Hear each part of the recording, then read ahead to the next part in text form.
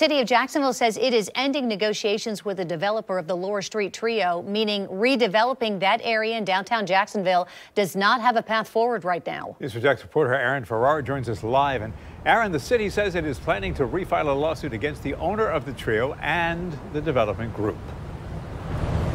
And it's a foreclosure lawsuit that was actually dismissed by the city back in September when it seemed like the city and the developer would be able to reach an agreement to proceed with the project. But then as we've seen now, things have fallen apart again. What's interesting is right across the street where all this would be happening, you see the buildings there, but I want to point and pay attention to the banners that surround the area. You see what the project would look like, but then to the right, it says coming soon, the Laura Trio. So now it appears it's not coming soon, and it might be coming never. According to the Jax Daily Record, that foreclosure lawsuit originally was filed in August before being dismissed, and it said that Southeast Development Group owes the city $800,000 in unpaid fines for municipal code violations.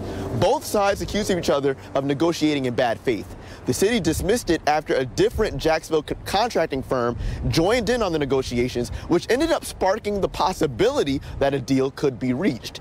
Here's a view of the three buildings. Steve Atkins bought them back in 2013 with hopes of redeveloping all of them that would end up providing uh, something different to the city. These buildings have been long neglected. The plans included a four-star hotel, close to 170 apartments, a restaurant, a bar, and other entertainment spaces. The proposed plan would have cost more than $188 million, and the expectation was that it could have been completed within two years. For context, though, the trio includes the First National Bank Building, Bisbee Building, and Florida Life Building. They were all built between 1902 and 1912. They are among some of the last unrestored structures built during the years immediately following that 1901 fire that destroyed much of downtown.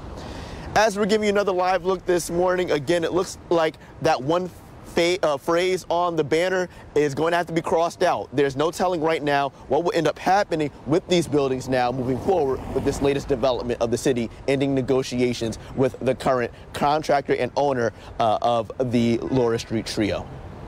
We're live in downtown Jacksonville. I'm Aaron Farrar, Channel 4, the local station.